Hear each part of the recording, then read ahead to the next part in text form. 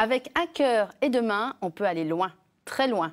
On peut élever 18 enfants, dont 17 adoptés et certains handicapés.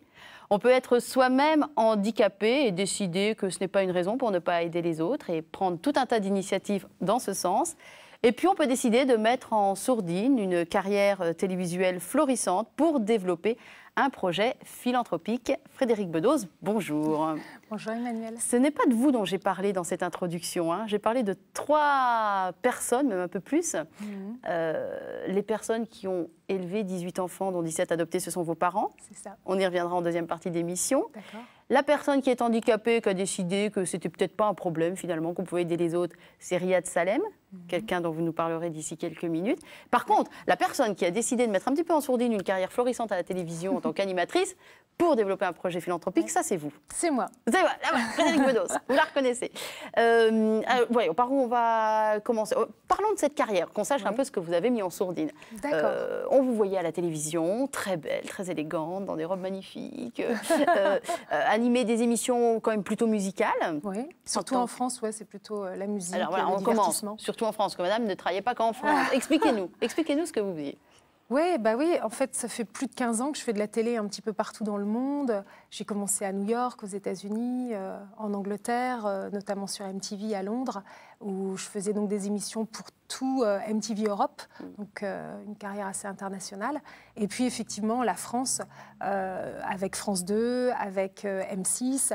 Euh, et, c'est vrai qu'en France, on m'a surtout euh, vu euh, dans l'univers musical, divertissement, parce qu'il y avait une filiation avec MTV et puis que j'ai fait les victoires de la musique. Enfin voilà. Ça vous a plu ces 15 ans? Parce que c'était effectivement musique et télévision intimement liées. Vous aviez, j'imagine, un vrai goût pour la musique au départ. C'est pas tombé ah par hasard? Oui, oui, non, ça c'est vrai. Mais c'est vrai aussi que tout m'intéresse. Donc c'est vrai que j'ai fait tout type d'émissions. J'ai fait aussi des émissions politiques, des débats, des choses comme ça.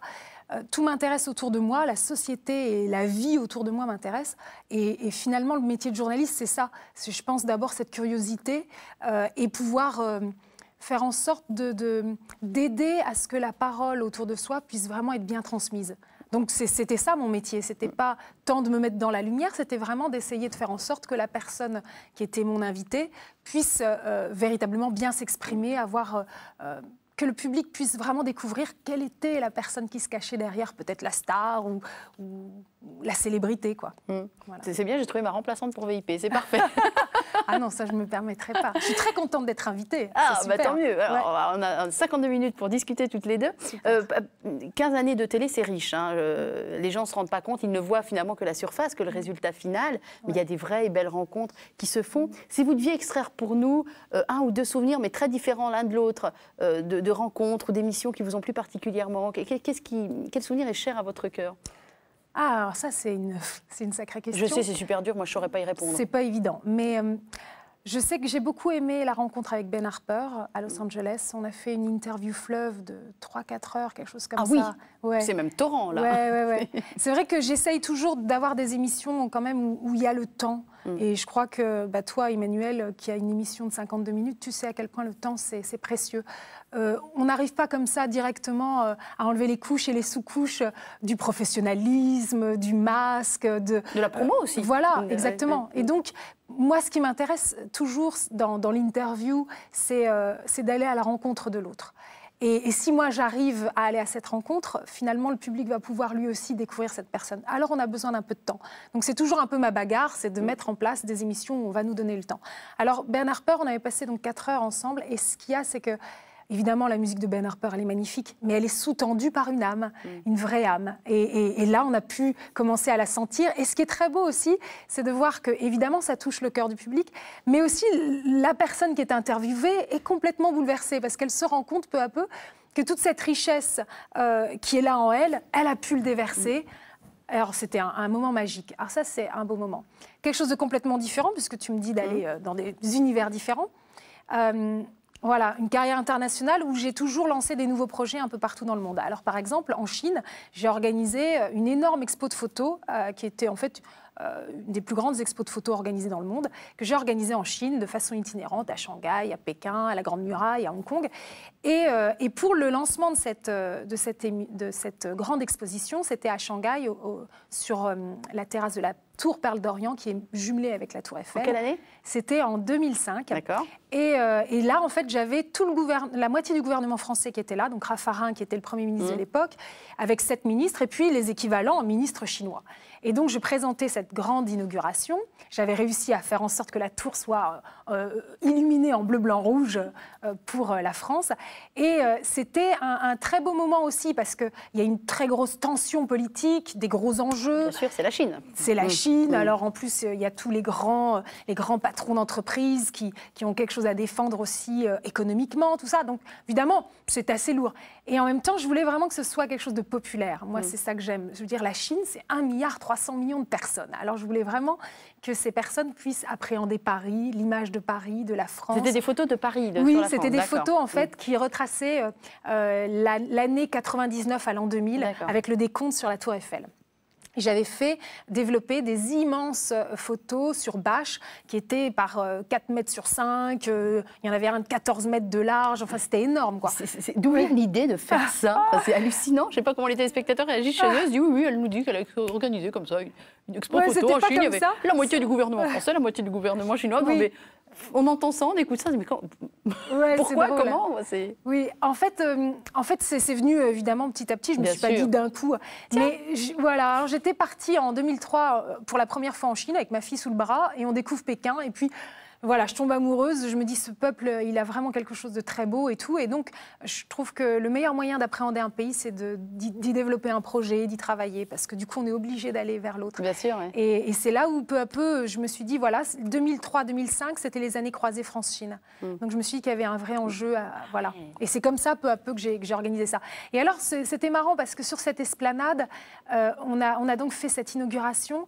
Et en fait, euh, Raffarin a, commencé à faire un discours qui était très, euh, très vivace, quoi, qui, sortait complètement de, du, discours euh, attendu. D'ailleurs, normalement, tout, tout, tout Matignon m'avait dit, voilà, vous lui posez pas de questions, etc. Puis évidemment, je me suis pas gênée, j'étais en direct, et puis c'était mon événement.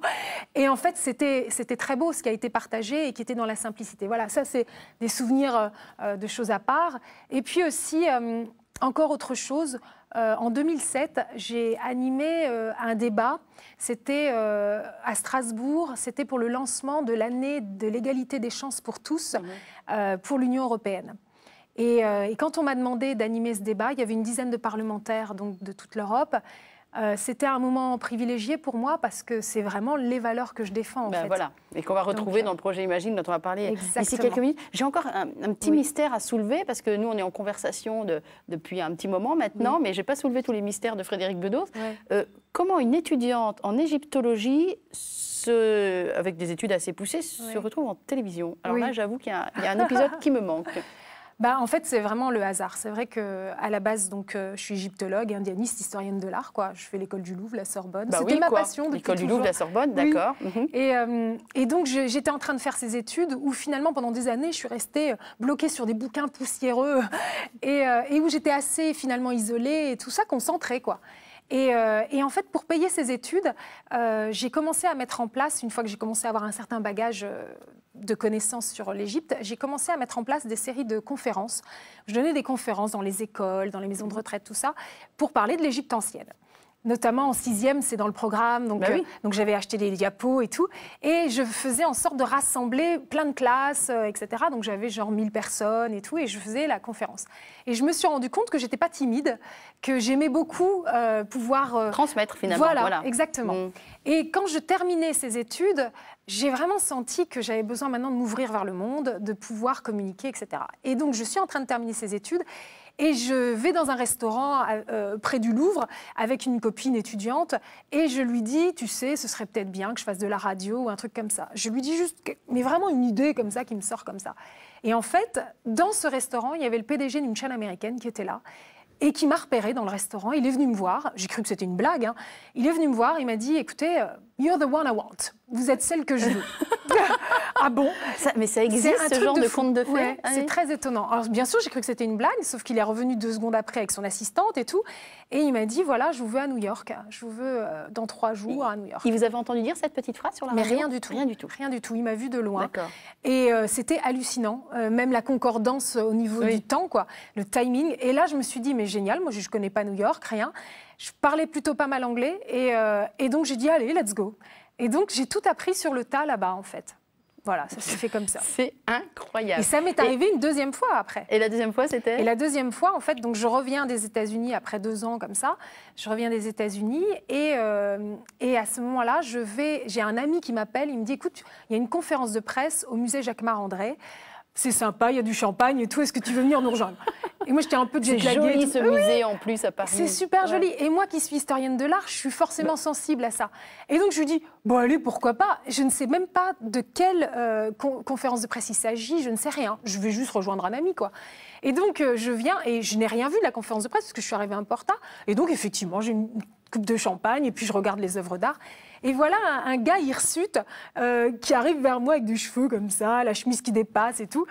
Euh, et, il commence à me parler en anglais, on parle un petit peu des œuvres d'art autour de nous. Et au bout d'un moment, il me dit, mais qu'est-ce que vous faites dans la vie? Je lui dis, bah, écoutez, un petit peu tout, de la télé, Internet, parce que j'avais aussi, je me penchais déjà sur Internet aussi à l'époque. Et je venais de lancer une émission de radio euh, là-dessus d'ailleurs. Et, et, à ce moment-là, il me dit, ça vous dit de venir à Londres? Je dis, oui, pourquoi? Et en fait, c'était le PDG d'MTV Europe. Ah voilà. Et donc, je me suis retrouvée, là encore, du jour au lendemain, première française d'MTV euh, en Europe. Alors, vous allez voir, chers téléspectateurs, que la Providence a beaucoup joué dans la vie de Frédéric Bedos, pas qu'au niveau, euh, pas qu'au niveau euh, professionnel. Donc, on a bien compris quelle était cette vie trépidante de journaliste à la télé, radio au départ, etc. Et vous avez mis ça en sommeil, on va dire, c'est pas terminé, hein, mis ça en sommeil pour développer un projet que vous portiez depuis longtemps, un projet philanthropique qui s'appelle le projet Imagine, et dont je vais résumer, mais on vous laissera ensuite expliquer, dont le but est finalement assez simple. Il s'agit d'aider des gens qui ont eux-mêmes des initiatives. Mm. Euh, des initiatives intéressantes, des initiatives belles, portées par des valeurs importantes, importantes à vos yeux. Vous avez été élevé dans ces valeurs-là. Et de les aider euh, à faire connaître ces projets, à financer ces projets. C'est pour ça qu'il y aura un appel aux dons à la fin de cette émission. Euh, et, vous avez évidemment tout un réseau. Hein. Vous êtes journaliste, média en plus, et médiatisé. et d'essayer de mettre votre énergie, vos convictions, vos valeurs et votre réseau mm. au service de ces belles initiatives. Exactement. Ça, c'est la partie résumé des choses. Ouais. Voilà. Après, l'impulsion vient d'où? Alors. Euh, Comment on est en train d'animer une émission euh, sur M6 qui marche super bien et qu'on dit euh, à son fiancé Je vais arrêter. Là, c'est le moment. Projet Imagine, c'est maintenant. Comment Elle vient d'où l'impulsion, Frédéric Bedos oui, c'est vrai, c'est étonnant. En fait, en 2008, donc j'ai encore une émission sur M6 qui s'appelle M6 et W9 d'ailleurs, elle était diffusée sur les deux chaînes, qui s'appelle Concert privé, qui est une très belle émission. Euh, enfin, je trouvais que c'était une très belle émission. C'était une très belle émission, Frédéric. Moi, j'ai vu. Hein. donc, on, avait la chance de recevoir toutes les plus grandes stars de la musique du monde entier, euh, qui venaient donc faire un concert privé pour nous. Et j'avais une bonne demi-heure, trois quarts d'heure d'interview mm. euh, en tête à tête avec ces grandes stars. Donc, elles pouvaient vraiment s'exprimer à loisir. Donc, une émission de qualité euh, dans laquelle je prenais beaucoup de plaisir. Euh, et, en fait, dans le courant de l'année 2008, donc c'est la troisième saison de cette émission, j'ai peu à peu le projet Imagine qui commence à émerger en moi, dans mon cœur. Et en fait, c'est là encore une question de timing, j'imagine. Je pense que j'ai eu comme le puzzle de ma vie qui s'est mis en place. Mhm. Donc euh, c'est vrai que j'ai eu une enfance un peu particulière dans laquelle j'ai reçu des valeurs très fortes, euh, parce que euh, dans notre famille, on a vécu l'amour, la providence, peut-être d'une façon un petit peu euh, exceptionnelle. Alors parlons-en de cette famille, puisqu'on en parle. Allons-y, allons-y, allons-y. Papa haïtien, réfugié en France sous Duvalier, maman normande. Tout à fait. Tout à fait. Flash, il s'aime. Oui, tout à fait. bon, je résume un peu. Hein. Oui, oui c'est ça. Et après, que se passe-t-il? Donc, c'est vrai que donc je, je, nais, je, nais je nais en Normandie, puisque ma mère est normande, elle a voulu absolument accoucher en Normandie. Euh, je, on, vit à Paris jusqu'à mes trois ans avec ma maman. En fait, mon père disparaît du paysage, mon père euh, donc biologique. Et en fait, euh, on a, j'ai une, une, petite enfance assez difficile puisque ma mère euh, vraiment vit sans le sou, a un côté très bohème et tout. Et, euh, et un jour, elle, elle, rencontre un prêtre qui se rend compte quand même qu'elle vit une situation très précaire avec sa petite fille sous le bras. Et il lui dit, écoute, je pense que ce serait bien que tu, que tu puisses te réfugier un moment, te reposer avec ta fille. Et je connais une famille qui est très accueillante, très bonne, qui habite dans le nord de la France. Et je pense qu'il serait OK pour t'accueillir un moment avec ta fille. Et effectivement, elle sent que c'est une bonne, une, bonne inspiration et donc elle y va. Et c'est là où je fais la rencontre de la famille qui va devenir ma famille adoptive. Et cette famille, euh, qui se compose d'un jeune couple qui s'appelle Marie-Thérèse et Michel, en fait, ont déjà commencé à adopter pas mal d'enfants et euh, qui viennent du monde entier. Et euh, on est tous en bas âge, donc moi j'arrive, j'ai 3 ans, et effectivement, ils m'accueillent avec ma mère. Et en fait, au bout de quelques mois, la santé de ma mère périclite, et euh, ce qui fait qu'elle se retrouve euh, régulièrement à aller à l'hôpital. Et donc, du coup, ça devient véritablement ma famille, ma seconde famille. Ce qui n'empêche pas qu'évidemment, j'avais ma maman aussi. Mais donc, j'ai fait beaucoup d'allers-retours. Mais en tout cas, euh, me voilà plongée dans une famille où, où en fait, à, à, terme, on sera quand même 18 enfants adoptés du monde entier. Et, on vit dans cette famille. En fait, euh, mes parents ne s'étaient pas dit tiens, si on adoptait 18 enfants. Simplement, euh, ils avaient accès au dossier d'adoption parce que mon père. Euh, en plus de son travail, il, avait, il partage. Votre père, quand on dit mon père, adoptif. votre père adoptif. Hein, on a bien compris vous avez très peu connu votre père biologique. Tout à fait. Donc mon père adoptif partageait une quincaillerie de quartier avec ses deux frères. Et à côté de ça, il était bénévole de façon très active euh, avec Terre des Hommes, mmh. donc cette grande association qui défend l'enfance défavorisée dans le monde entier, qui est suisse. Et donc il a, il a toujours œuvré euh, au sein de cette association euh, avant de lui-même créer sa propre association qui s'appelle Enfance et Vie. Donc du fait de cette activité, il avait régulièrement les dossiers d'adoption de divers enfants. Et beaucoup de ces enfants, on voyait bien qu'ils étaient inadoptables. Oui, parce que trop patins par une maladie, par une difformité, parce que trop vieux aussi. Euh, trop âgés, les gens veulent des bébés. Parce que voilà. peut-être à risque, euh, voilà. Trop traumatisés aussi mm. parfois, parce qu'il y a des parcours difficiles. Et puis quand on adopte, on a envie d'adopter un petit bébé sans problème. C'est ça, hein, c'est vrai que c'est pas simple. on est sur un fantasme aussi, un Exactement. petit peu. Et ça se comprend, hein, c'est mm. pas... Et c'est vrai que mes parents, en fait, quand ils lisaient ces dossiers, chaque fois, ils avaient le cœur déchiré il se rendait bien compte que cet enfant-là allait être mis sur le côté. Et à ce moment-là, ben, il ne pouvait pas. Et donc, il disait, ben, nous, on va le prendre. Et donc, ça s'est fait comme ça, les uns après les autres. Et, euh, donc, on s'est retrouvés dans une petite maison comme ça qui craquait, euh, tous ensemble, à vivre l'amour, l'amour qui soigne, l'amour qui, qui, permet vraiment de cicatriser les pires blessures. Et, euh, et l'amour qui unit, qui sauve. Alors, dans cette famille, donc 18 euh, enfants, ils ne sont pas arrivés les 18 ans en même temps, non, vous étiez quand même nombreux, etc. Euh, il y a des enfants qui viennent euh, du monde entier. Vous pouvez nous donner deux, trois noms de frères et sœurs avec leur destination alors, il y a Hélène qui vient d'Inde du Sud. Quand je dis, il faut savoir, on est, dans les, on est fin, fin des années 60, début des années 70. Oui, la diversité n'est pas trop à, pas trop à l'honneur à l'époque. Voilà. Hein. Il faut savoir que sur le dossier de ma sœur Hélène, donc, qui vient d'Inde du Sud, il était marqué trop foncé. C'est des choses qui paraissent incroyables aujourd'hui. quoi. Donc euh, voilà, donc euh, trop mignonne, euh, ma sœur Hélène qui arrivait d'Inde du Sud, ma sœur Virginie de, de, Corée du Sud cette fois. mes parents aussi ont une fille biologique qui est arrivée euh, peu après euh, la, première adoption, euh, qui s'appelle Marie-Laurence. Et la première adoption, c'était un, petit garçon de 14 ans. pour un premier enfant, on ne s'imagine pas avoir un ado de 14 ans qui, a failli être envoyé à l'armée, et c'était l'adoption ou l'armée, qui, a eu beaucoup de chance. Hein. Exactement. Ouais, c'est fou parce qu'en plus, mes parents n'avaient pas l'âge d'avoir un enfant de 14 ans. Et quand ils voient ce dossier et qu'ils comprennent que c'est sa dernière chance où on l'envoie à l'armée, bon, ils se disent non, quoi, on peut pas, il faut lui donner sa chance. Et, donc, voilà, le premier enfant, effectivement, c'est pas du tout un bébé. Et, voilà, mm. ça montre bien à quel point euh, il y a une, véritable gratuité et générosité dans, dans, cet amour, quoi, dans cet accueil. Euh, voilà. Et euh, il y a eu aussi des enfants euh, avec des infirmités, des enfants handicapés. on peut peut-être. Il y a Gaston notamment. Qu'est-ce qui lui est arrivé à Gaston? Gaston vient du Cameroun et Gaston était tombé dans un feu tout petit. Mm. Donc il a été complètement, jusqu'ici, complètement dévisagé. Euh, tout le haut du corps, quoi, les épaules et tout le visage. Donc vraiment euh, plus de visage, quoi. Et il a perdu un œil dans cet accident et l'autre l'autre œil, voyez que quelques dixièmes, donc euh, donc très handicapé et en plus faire face quand on n'a pas de visage. Donc il est venu en France et il a subi des tas d'opérations sur des tas d'années, donc une grande douleur. Hein. Et il y a quelque chose qui est magnifique parce que une autre de, de, mes une autre de mes, de mes petites sœurs s'appelle Cathy, et Cathy est sourde, sourde profonde. Donc quand elle a été adoptée, elle avait 5 ans, et elle était très traumatisée parce qu'en fait, ses parents biologiques n'avaient pas compris pendant des années qu'elle était sourde. Et donc, ne comprenant pas, ils s'étaient montrés assez violents avec elle.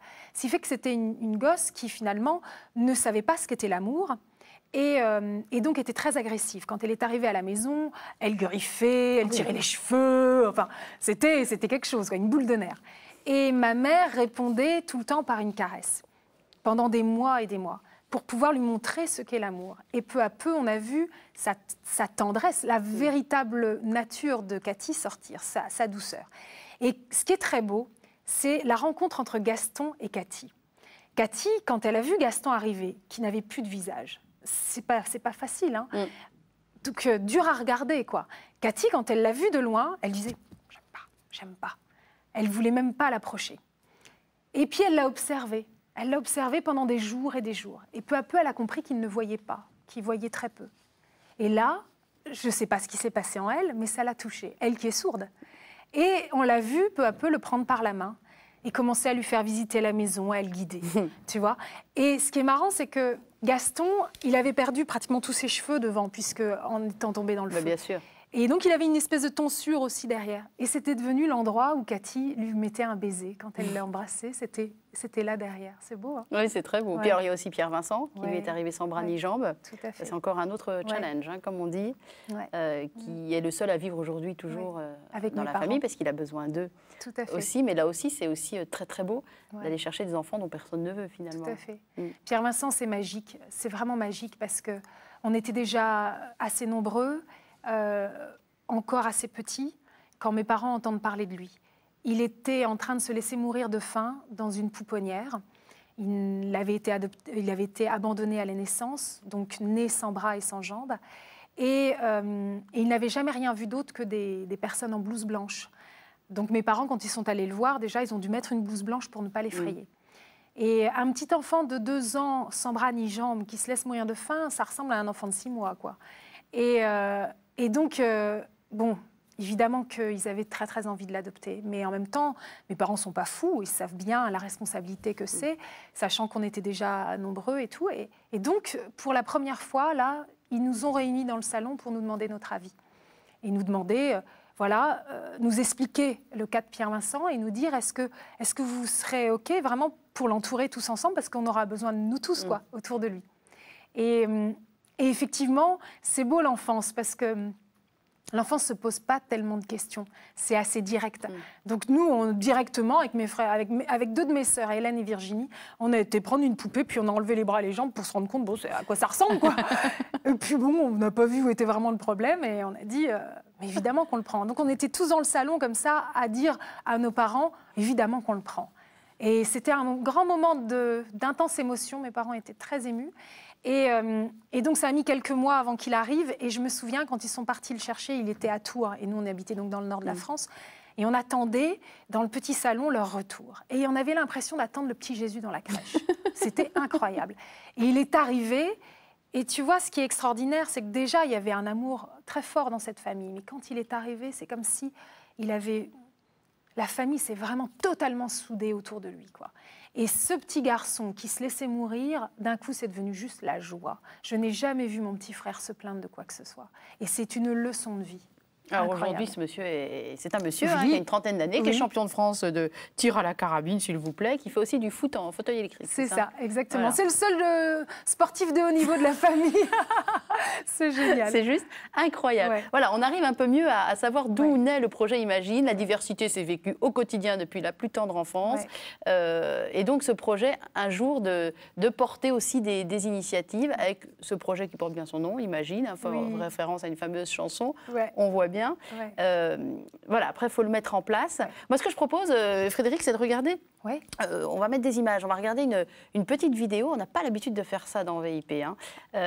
voilà, mais on le fait parce que ça vaut vraiment le coup de regarder une petite vidéo avec votre, dire, votre premier bébé, en tant que projet, évidemment, parce que quand vous allez voir le, gaillard, vous allez voir que c'est pas un bébé. C'est vrai, c'est vrai. Il s'appelle Riyad Salem. On peut dire un peu qui il est, Riyad, avant qu'on l'écoute? En fait, euh, c'est mon premier héros, puisque l'idée du projet Imagine, c'est de mettre en lumière les héros anonymes, toutes les personnes dont on parle jamais et qui font des choses formidables pour les gens qui les entourent. Alors, c'est mon premier héros Imagine. Et, euh, donc, on a fait tout un reportage sur lui, euh, une personne qui est lui aussi handicapée et, qui effectivement surmonte complètement tout ça dans sa vie personnelle, mais surtout aide autour de lui d'une façon incroyable. C'est très inspirant. Alors il aide en disant, on va dire rapidement ce qu'il fait comme... Euh, oui, alors euh, il est né en Tunisie, il est arrivé en France vers deux ans. Toute son enfance, il a passé dans des hôpitaux, des, des, des, institutions spécialisées où il a subi pas mal d'opérations, etc. Et dès qu'il a pu en sortir, à 18 ans, la première chose qu'il a fait, c'est de distribuer des médicaments, du matériel orthopédique dans les pays du tiers-monde. Il voyage partout dans le monde comme ça. En plus, c'est un sportif de haut niveau. Euh, notamment en basket fauteuil. Mm. Alors, sachant qu'il n'a pas de main. Mm. Et donc, c'est assez incroyable. Et euh, c'est un grand champion, un champion d'Europe, etc. Et grâce euh, à cette équipe, ce club de Paris, ce club d'handisport, il fait de la sensibilisation dans les écoles, dans les entreprises. Il va à la rencontre des prisonniers, des détenus dans les prisons. Euh, et, aussi, il fait encore plein d'autres choses pour nous réunir tous et faire la fête avec le Défestival, par exemple. Et puis aussi. C'est un festival euh, de rencontres entre handicapés et, non handicapés. et, on fait la fête ensemble et aussi avec toutes les associations qui œuvrent tout au long de l'année ben, pour que ça aille bien et, on fait ça ensemble. Le Alors, on va l'écouter. En fait, les passages qu'on a sélectionnés, si vous voulez voir le film en entier, il faudra aller sur le site internet. Hein, qu'on va citer le site internet. www.leprojetimagine.com. Voilà, c'est quand même simple. nous, on a choisi pile le passage où il parle un peu de sa philosophie de vie. Voilà, donc on va le regarder et l'écouter. Il y a une multitude de vérités et c'est magique. Je me dis qu'on est con de se foutre sur la gueule et de se faire la guerre pour des idées, au contraire. Le monde est tellement beau, on a, on a quelque chose de particulier dans l'univers qui est super fragile et euh, on n'en a pas conscience. Et je trouve dommage qu'on n'arrive pas à élever les esprits pour avoir conscience de la richesse que l'on a et, de ce que c'est que la vie, quoi. Vraiment. Quand tu passes euh, des années enfermé dans un centre ou, euh, ou dans un hôpital, des, des, mois, des semaines, des années à regarder des plafonds, quand d'un seul coup l'horizon s'ouvre à toi, c'est indéfinissable. Comment, on sélectionne les, héros, les futurs héros? Parce que là, lui, c'est le premier, mais il y, a, une sélection. On ne peut pas soutenir tout le monde. À un moment, il faut, voir la viabilité des projets aussi, la, fiabilité du personnage. Euh, comment on fait pour trouver les gens et les sélectionner? Alors, c'est vrai que euh, moi, en fait, dans, ma sélection, quelque part, bah, c'est une question d'esprit. quoi. Tu vois, ce qu'on vient d'entendre euh, de Riyad, voilà, il a son parcours et il a une spiritualité qui est universelle. C'est ça qui me plaît. C'est-à-dire que finalement, il ne nous parle pas du handicap. Il nous parle de choses, tu vois, on oublie mm, même mm. ça. C'est-à-dire il nous parle de notre humanité qui nous est commune à tous. Et donc, du coup, ça nous parle à tous. Et, c'est cette spiritualité. C'est-à-dire que d'un côté, ce sont des personnes qui, qui, ont du vécu, qui mettent euh, vraiment euh, en branle ce qu'ils ont dans le cœur. Donc, ce n'est pas juste un discours, ils ne refont pas le monde en parole, ils le font avec les mains dans le cambouis mais il y a une vraie spiritualité, une vraie force comme ça, humaniste, qui est derrière et qui sous-tend tout ça. Et dans le projet Imagine, c'est vraiment ce que j'essaye de mettre en valeur. Alors du coup, il faut forcément les deux pôles. Donc déjà, un héros Imagine, c'est forcément quelqu'un qui a les mains dans le cambouis, mmh. qui fait, et qui fait, et qui donne du résultat. Euh, et en même temps, qui nous bluffe parce que euh, cette imagination, ce dynamisme. C'est aussi une forme de révolution, c'est-à-dire on est quand même dans une société où on, où il y a quand même une espèce de morosité, euh, où on nous dit que tout est foutu, que si tu fais quelque chose, ce mm. sera une goutte d'eau dans la mer. Et eux, ils nous montrent, ouais, mais c'est comme ça qu'on fait la mer, avec mm. des gouttes d'eau. Et ça, tu vois, c'est cet optimisme-là qui, c'est-à-dire que l'idée, c'est pas de pleurer dans les chaumières en disant oh, c'était joli, c'est vraiment ouais, mais en fait moi aussi je peux faire des trucs. Mm. Donc c'est cette énergie de nous, de nous qui, vont nous donner et qui va nous donner nous aussi envie euh, peut-être de développer une vocation, de, de même si c'est une petite action, en fait, elle, elle rayonne. Ce qui veut dire que, alors j'imagine que par le bouche à oreille, notamment, ça se fait pas mal, mais les gens qui verront cette émission, qui l'entendront euh, à la radio, pourront euh, dire je vais contacter Frédéric Bedos et moi je connais quelqu'un d'accord. Oh, je vais recevoir un courrier. Allez directement sur le site hein, si vous voulez contacter Frédéric. Moi je vais passer mon temps à envoyer les lettres. Ah ouais, non mais c'est super. Ça Alors, doit devenir une chaîne d'amour. Alors, ce qui est important, euh, euh, on ne vit pas euh, que d'amour et d'eau fraîche. À un moment, il faut avoir un soutien politique. il faut avoir un, soutien. Des, je pense aux grands, grands penseurs, parce qu'Edgar Morin va venir vous, appuyer, mais des, institutions aussi. Et quand on explore votre site, on tombe sur une interview avec le médiateur de la République. avec Jean-Paul Delevoye. Et c'est assez intéressant à écouter parce qu'on comprend qu'on peut impliquer des personnages comme lui dans ce projet-là, le soutenir. alors, pas que dans les mots, j'espère. Hein, j'espère que le soutien est effectif euh, derrière. Euh, j'aimerais qu'on l'entende lui aussi, mais avant qu'on l'entende, pourquoi c'était important pour vous d'aller le voir lui? Mm-hmm. Alors en fait, quand j'ai commencé à créer le projet Imagine, évidemment le cœur, c'est les héros Imagine, les mettre en lumière, mais en même temps, je trouvais que c'était important sur ces sujets qui finalement sont véritablement d'actualité, ces sujets d'entraide, de, solidarité. Qu'est-ce qu'on peut faire de beau ensemble? C'est un vrai enjeu parce qu'effectivement, on le voit bien. Euh, dans notre société, voilà, peu à peu, surtout en France, on l'a remarqué, euh, les gens ont le moral dans les chaussettes, quoi. Et donc, euh, il y a vraiment des choses à faire. On est, je crois, à la croisée des chemins. Le pire comme le meilleur est possible. Espérons qu'on va pencher vers le meilleur. Et donc, je trouvais que c'était important aussi de mettre des neurones là-dedans, de, discuter avec des gens qui, ont euh, un bagage intellectuel très fort. Donc, Edgar Morin, mm. voilà, évidemment. Et puis aussi, évidemment, les institutions politiques, parce qu'il faut ce relais-là à un moment si on veut que ça prenne une grosse dimension. Alors, le médiateur de la République, ce qui était marrant, c'est qu'en fait, au moment où je fais son interview, c'est le moment où il vient de sortir ce rapport officiel qui avait fait la une du Monde et tout ça, euh, et qui disait euh, que effectivement, les Français avaient le moral euh, plus bas que tout, et qui disait que c'était finalement dû à un déficit du bien vivre ensemble. Donc on était au cœur du sujet. Et là, je me suis dit, attends, là, c'est incroyable parce que moi, quand j'ai commencé le projet Imagine, c'était déjà mon diagnostic et mon constat que je faisais instinctivement. Sauf que là, ce diagnostic était validé eh par des études, des opérations, Exactement. des, des, Alors, c'est officiel, quoi. Alors, ça m'intéressait. Et en plus de ça, c'est vrai que ce médiateur de la République, Jean-Paul Delevoye, c'est quand même une personne particulière qui intellectuellement est assez brillant, qui aussi euh, ose mettre les pieds dans le plat, ce qui n'est pas toujours le cas de tous mm. nos politiques. Donc euh, voilà, je trouvais que c'était intéressant parce qu'il n'est pas tellement langue de bois. Quand on le lance sur un sujet, il y va. Et d'avoir aussi son analyse donc politicienne euh, de, de, tout ça, de cette situation. Alors, on, va, on en a extrait deux, trois phrases. On va les écouter et j'aimerais bien qu'on réagisse dessus. D'accord. On l'écoute, Jean-Paul Delevoye. Il est évident que la solidarité est synonyme de responsabilité. Je suis solidaire si je me sens responsable de l'autre. Être responsable de l'autre, c'est accepter le fait d'être en communauté avec l'autre. Être communauté avec l'autre, ça veut dire se sentir citoyen euh, d'une nation et donc partager les mêmes valeurs, partager euh, les mêmes ambitions et les mêmes objectifs. Et c'est à partir du moment où on ne se sent plus solidaire que l'on est à ce moment-là consommateur du territoire sur lequel on est. Sur lequel on est. Il a dit plein de gros mots, hein. nation, solidaire, euh, euh, responsabilité, euh, oh, oh, oh, oh, Tu sens comme il y a une gravité dans tout ça. Il, y a, un enjeu, il y a un enjeu important. C'est vraiment, c'est pas qu'il faut se prendre au sérieux, mais il faut le prendre, il faut le prendre à bras le corps l'histoire quand même, tu vois. Oui, oui non, mais bah, euh, quand on se lance dans un projet comme celui-là, on prend des responsabilités aussi, on prend des engagements vis-à-vis des personnes comme euh, Riyad Salam, mais pas uniquement, parce qu'il y a tout un tas de gens bénévoles hein, autour de Frédéric Bedos, elle n'est pas toute seule. Donc on engage tout un tas de gens avec soi, et c'est une gravité euh, qui n'est pas qui n'est pas. c'est pas dramatique. J'allais dire, c'est pas une gravité grave, c'est une gravité responsable, on va dire. Oui, c'est ça, exactement. Et donc, on le fait avec toute notre énergie, notre optimisme.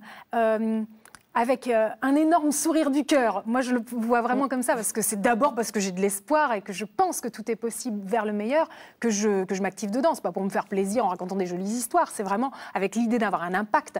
Et là, tu vois, ce que j'aime, finalement, moi, j'ai envie de pousser le bouchon plus loin.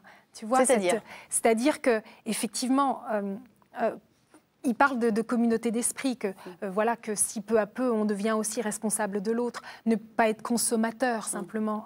Et, tu vois, en fait, euh, c'est-à-dire si tu commences vraiment à voir l'autre comme un frère ou une sœur, alors effectivement tu dois en prendre soin. c'est cette fraternité-là, quoi. Tu vois Évidemment. Voilà. Évidemment. C'est-à-dire que pour moi, comment dire, ça ne suffira pas de se respecter les uns les autres. Ça suffira pas. Bah, c'est tout le principe de la tolérance. hein. Euh. Qu'est-ce que la tolérance sans l'amour? Si on s'arrête à la tolérance, Ouais. euh, Nous, tu vois, je beau, le vois dans notre vécu. Bien sûr. À la maison, on est tous arrivés avec des blessures, tu vois, il y avait et de multiples blessures et de multiples histoires différentes, de multiples trajectoires. Et on s'est retrouvés dans cette petite maison avec des parents qui ont essayé de nous donner de l'amour.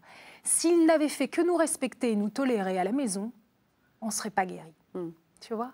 C'est, ce supplément d'âme-là. Alors, justement, on parle de l'âme, on a parlé de la providence, il y a Ouais. une magnifique croix euh, au cou de mon invité. Oui. Euh, il y avait quand même une maman, je ne sais pas si c'est le cas du, du papa. Euh, alors, quand je dis maman, c'est la maman Adoptive. adoptive parce que, euh, si j'ai bien compris, ta maman, après, tu l'as perdue ou- Non, non, elle, Non. elle est toujours là, mais d'accord. elle est très diminuée. Voilà. Euh, voilà. euh, qui était très croyante. Oui. Il y a notamment cette ane- anecdote fabuleuse, il faut absolument la raconter, Oui. où cette maison commence à craquer de partout. On sent il y a tellement d'enfants, vous tenez plus dans cette maison. C'est vrai. Il faudrait cette magnifique maison là, très belle, avec ses chambres de bonne et, et toutes ces chambres, et que chaque enfant ait sa chambre. Mais c'était juste pas dans les moyens de la famille. Bien on sûr. fait quoi, Seigneur? On fait quoi? La providence. C'est vrai que c'est c'est une famille qui a été portée par Dieu, c'est clair. Ma maman adoptive a, une- a vraiment une relation à Dieu personnelle, particulière, qui fait que bah, il se quitte pas, il se parle tout le temps, et qui fait que euh, bah, rien ne lui fait peur, quoi. Ni adopter 18 enfants alors que c'est quand même juste énorme, Euh, et, et- et aussi malgré le fait qu'ils ne roulent pas sur l'or, qu'ils ne sont pas riches, d'avoir toujours, toujours ouvert sa porte à ceux qui ont besoin, d'avoir toujours gardé les mains ouvertes. Ma mère dit toujours, voilà, quand tu as les mains ouvertes, tu peux tout perdre, mais tu peux tout recevoir. Tandis que, ok, ce que tu as, tu le gardes comme ça, mais tu peux pas recevoir plus, tu vois. Garder les mains ouvertes. Et c'est là le secret. Et c'est comme ça qu'elle a toujours vécu. Et finalement, effectivement, moi, je suis bien obligée de constater que ça a toujours marché. Et donc, euh, on a toujours eu plein de gens à table avec nous. On a toujours eu des personnes qu'elle a accueillies dans la journée, qu'elle a lavées, qu'elle a, tu vois. Et en même temps, euh, jamais manqué de rien. Alors c'est vrai qu'à un moment, on était donc dans cette petite maison qui n'était pas prévue pour recevoir tant d'enfants, qui était la petite maison euh, dans laquelle ils avaient emménagé une fois qu'ils étaient- s'étaient mariés, quoi, des jeunes mariés. Et donc elle craquait. On était dans les lits superposés et tout. Et là, elle dit à Dieu, écoute Seigneur, mais avec cette foi inébranlable de, de sachant que Dieu l'aime, et de dire, euh, Seigneur, moi maintenant, je voudrais que chacun de mes enfants ait sa chambre, donc il va falloir une belle maison. Ils n'ont pas un sou de côté, évidemment. Elle commence à visiter les maisons. Et donc, euh, et à ce moment-là, effectivement, elle voit une maison qui correspond à tous ses rêves, une grande maison. Mon père est très bricoleur, et donc elle sait qu'il va pouvoir euh, tout, tout arranger pour que ce soit des chambres, etc. Et donc, on lui dit un petit peu combien elle coûte. Ma mère n'a aucune notion des chiffres. Elle dit oui, bon, bah, écoute, Seigneur, t'as as vu le chiffre, enfin voilà quoi. Et effectivement, au moment euh, où elle s'intéresse à cette maison, une personne qu'elle a aidée pendant des années et des années, à qui elle donnait à manger midi et soir. Une personne âgée. Mm. Qui était très isolée, qui habitait tout près de la maison où on habitait à l'époque, et, euh, et qui, qui était très isolée, très seule, et qui n'avait pas l'air du tout de rouler sur l'or, enfin qui vivait très simplement. Et en fait, elle avait euh, pas mal d'économies et qu'elle a légué à mes parents. Et en fait, ça correspondait aux chiffres, quoi. Donc ils ont pu payer avec les frais de notaire et tout, ça correspondait. Ça déjà, c'est signé. c'est hein. juste signé. incroyable. Alors, je voudrais aussi l'anecdote de la salle de bain. Parce que Ah. moi, je me délecte depuis des jours et des jours à entendre ces anecdotes. Mais ça, il faut vraiment la livrer aux téléspectateurs. Parce que c'est vrai qu'avoir une salle de bain décente pour pouvoir Oui. se laver quand on est une famille Oui. nombreuse, c'est pas mal quand même. c'est pas mal. C'est-à-dire que quand on est arrivé dans cette grande maison, donc il a fallu aussi faire pas mal de travaux et tout qui se sont faits petit à petit. Et euh, ça a été meublé aussi par la Providence et tout, enfin, tout est arrivé, enfin voilà. Et à un moment, ma mère qui adore prendre des bains, à un moment euh, se dit Oh, j'aimerais bien avoir une nouvelle salle de bain. Et elle se demande si elle a le droit Si c'est légitime. mais oui, Mm. parce que on est toujours, souvent d'ailleurs les chrétiens, on a un côté comme ça euh, à culpabiliser avec tout ce qui est autour du matériel, etc. Est-ce qu'on a droit? Je crois que Dieu a envie de nous gâter. Je crois que, mais c'est il faut savoir comment le vivre. Et donc ma mère se pose la question, puis elle dit à Dieu Est-ce que tu crois que j'ai le droit de demander à mon mari de me faire une belle salle de bain? Puis elle reçoit pas de réponse. Elle dit avec toute Seigneur, moi si je demande à mon mari, c'est pas une fois qu'il est euh, dans les travaux, les mains dans le cambouis, qu'il faudra me dire d'arrêter. hein. Mais elle ne reçoit pas de réponse. Donc elle demande à son mari. Et son mari, qui adore sa femme, mon père adore, adore ma mère, c'est extraordinaire. Et il lui dit, bien sûr, je vais te faire une belle salle de bain. Et le voilà qui lui fait une superbe salle de bain. Et au moment, le jour où elle se termine, ce jour-là. Où elle va pouvoir prendre son Mais premier oui bain.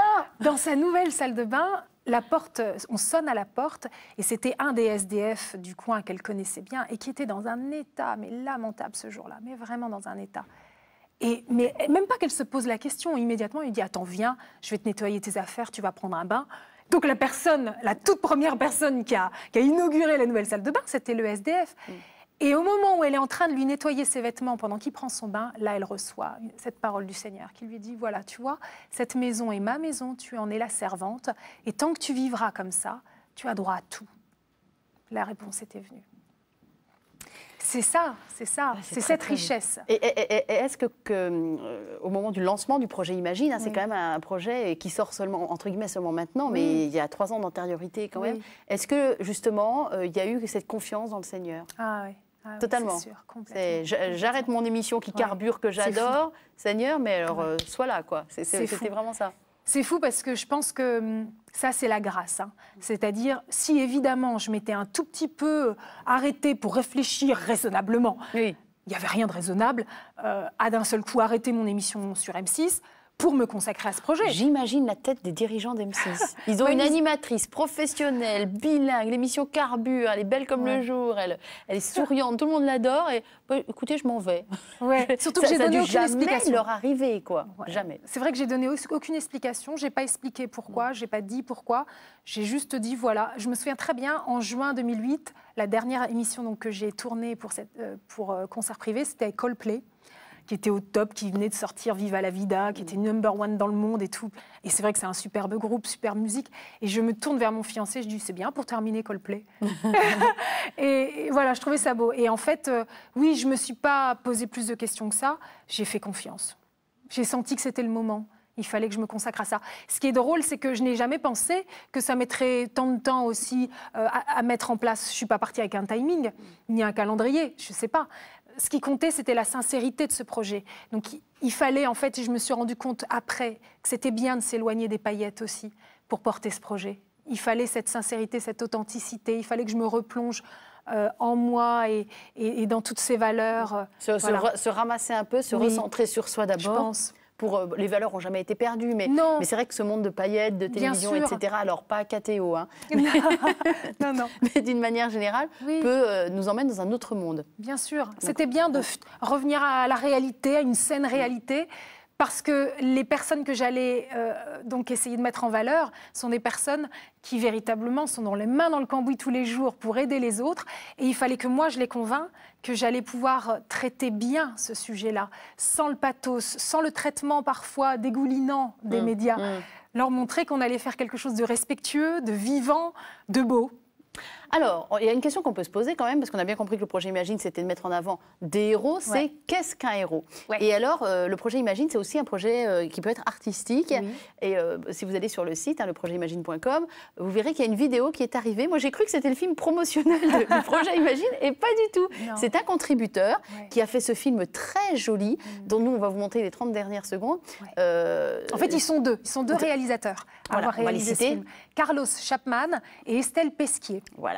Ouais. Rendons à César ce qui est à César. Tout à fait. Et euh, ils, ont, ils ont travaillé un peu sur ce thème du héros, ça Oui. colle parfaitement au projet. Donc voilà, moi je propose les 30 dernières secondes, Oui. mais il y a bien plus que ça à explorer, évidemment. Oui. On écoute. Je suis un héros quand j'arrive à convaincre une seule personne que l'être humain a plus de bon que de mauvais en lui. Je suis un héros quand je fais plaisir à quelqu'un, quand je suscite un sourire.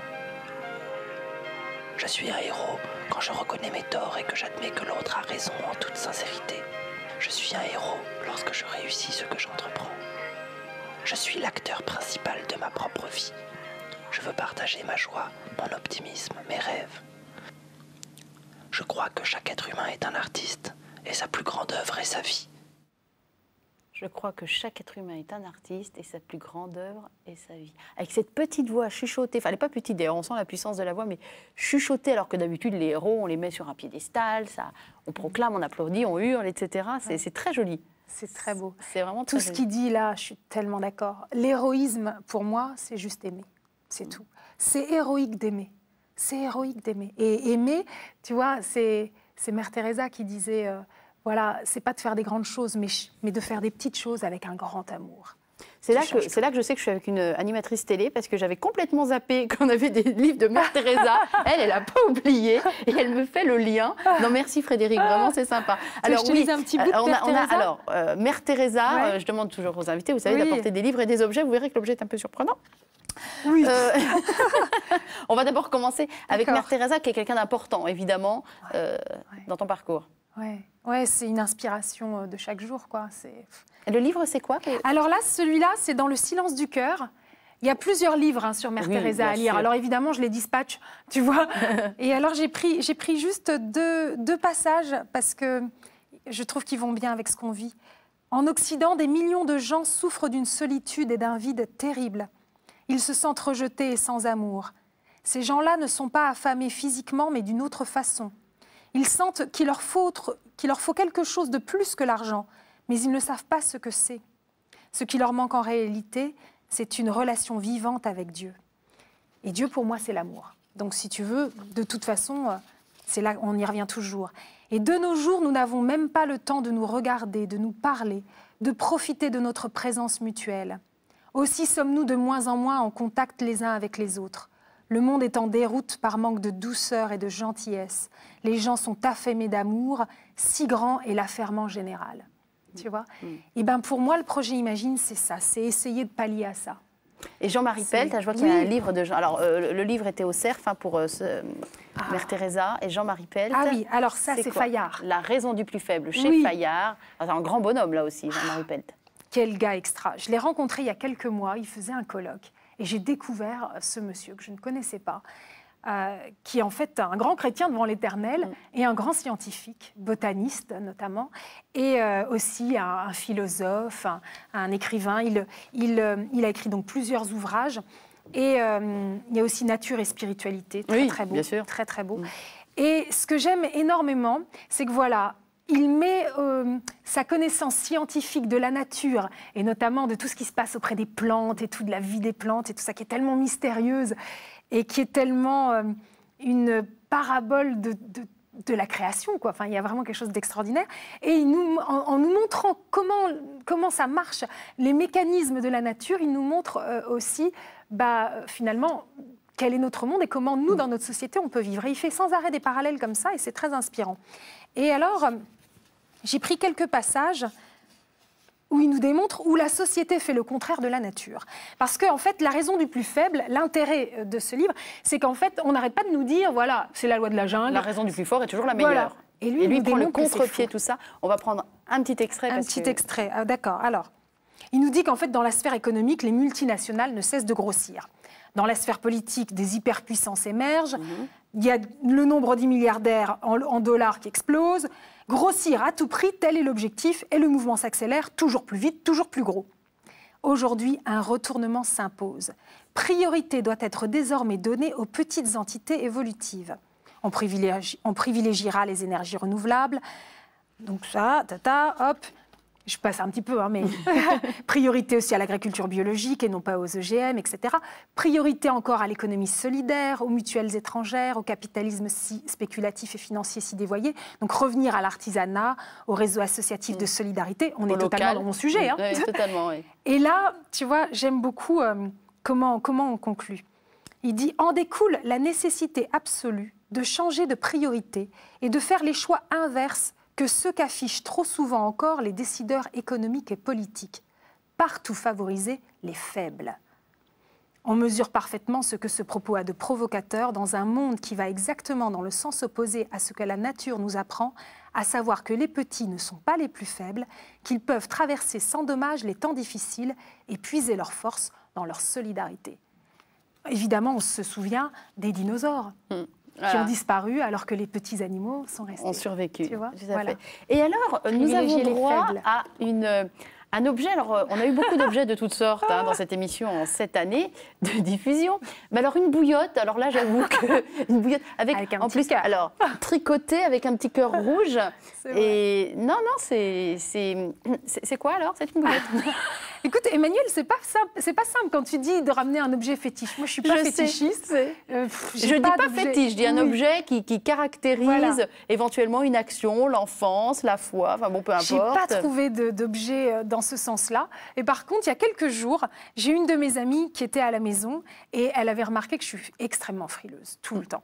Et donc, euh, elle m'a acheté une petite bouillotte avec un petit cœur. Et tu vois, je trouve que c'est extra parce que c'est un, un petit cadeau tout simple, mais qui était vraiment pile poil pour moi. C'est plus que simple, c'est même quand même très très symbolique, moi, je trouve, de tout le personnage qu'on a pu découvrir euh, pendant euh, euh, cette émission, parce que la bouillotte est quand même symbole de, de la chaleur. C'est vrai. On est d'accord, une chaleur qui se diffuse Oui. avec le cœur. On n'a pas arrêté de dire dans cette émission, tu n'as pas arrêté de dire que Dieu c'est l'amour, l'amour, il n'y a que ça de vrai. Et, et voilà, donc c'est au-delà, même si je ne sais pas si on a eu conscience cette amie, mais c'est très symbolique du projet Imagine, euh, de la vie de Frédéric Bedos et de, de- de l'amour reçu et de l'éducation reçue Yes. aussi au sein de cette famille. euh, Hors norme. Hors norme, témoin de la diversité et de l'amour. Donc c'est c'est au-delà de ça cet objet. Donc, j'ai plutôt pas mal choisi en mais, fait. mais c'est c'est super, Trop bien, Trop bien. Frédéric. Je fais un bisou à ma Sandrine qui va me faire. Alors, on va terminer cette émission. Il nous reste une minute euh, Oui. 40. euh, avec une dernière euh, question.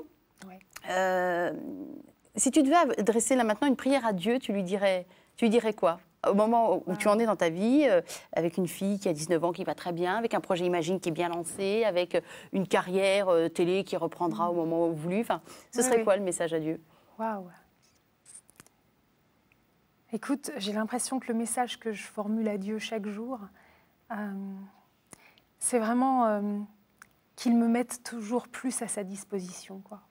Tu vois, qu'il fasse à travers moi, mais que voilà, je suis, que je sois vraiment qu'un petit pot. Donc, euh, avec toute ma faiblesse, avec tous mes défauts, toutes mes limites, je lui remets et que ce soit lui qui fasse, quoi. Qui Vraiment. remplisse le petit pot Ouais, qui, qui l'utilise, quoi. Comme Mm. un petit pot. Voilà, je suis là, à ta disposition, mais que ce soit lui qui le fasse en moi, tu vois.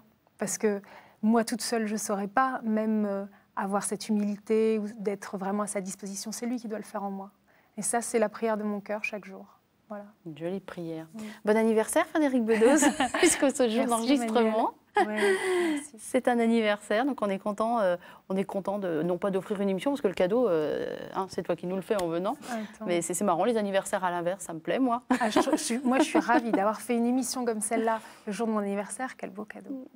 En tout cas, longue vie au projet Imagine, Ouais. euh, longue vie à Frédéric Bedos, longue vie surtout à tous ceux qui vont être soutenus par le projet Imagine, c'est très important. Et on salue Riyad Salem au passage, bien évidemment. Très très bonne continuation, Frédéric. et à Merci, bientôt. Emmanuel. Au revoir. Au revoir.